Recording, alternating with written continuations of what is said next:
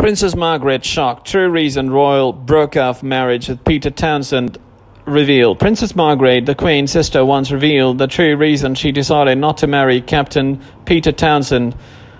Claimed her authorized biographer Christopher Warwick. Princess Margaret scandalized the monarchy in 1950s when she fell in love with a divorced man, royal aide Captain Peter Townsend who was 16 years older and had two children. However, the Queen had to give permission for the marriage under the Royal Marriages Act of 1772, leading to a constitutional crisis as Winston Churchill's government and Church of England opposed divorce. But Christopher Warwick, author of Princess Margaret, A Life of Contrast, claimed Margaret and Townsend decided not to marry because her love was no longer strong enough. Princess Margaret's authorized biographer told Express.co.uk the bottom line really is that, and she said it to me, they had been apart for two years, he has been in Belgium. She said to me, it's the only thing she did say, but she didn't discuss the Townsend business with ever with her closest friends. But she did say to me in one occasion, well, how do you know if you want to marry somebody who had been apart for two years? And that was basically it. While there was still affection there, the love was no longer strong enough for them to have married, so they took the decision that they won't.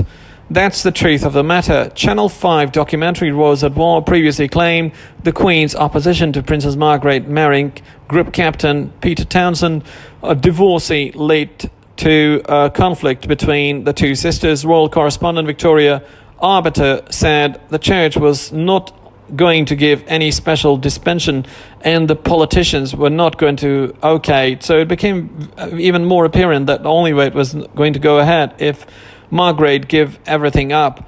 This left margaret in a difficult position and on october 31st 1955 the princess eventually put duty before love.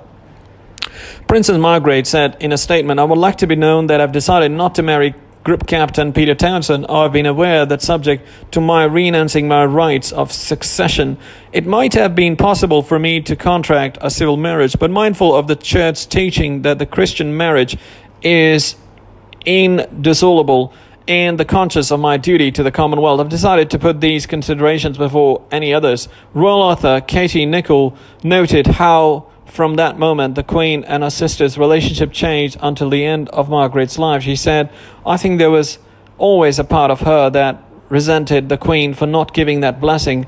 It certainly led to difficulties and tension. Princess Margaret died at the age of 71 on February 9th, 2002, just seven weeks before the death of her mother on March 30th, 2002. Margaret was born in Scotland in 1930, the second daughter of King George VI and Queen Elizabeth, the Queen Mother. Princess Margaret and her future husband Anthony Armstrong Jones were introduced at a dinner party in May 1958. They got married in a lavish wedding at Westminster Abbey in 1960 and were later made court and countess of Snowdon. The royal couple had two children, Viscount David Linley in 1961 and Lady Sarah Armstrong Jones in 1964.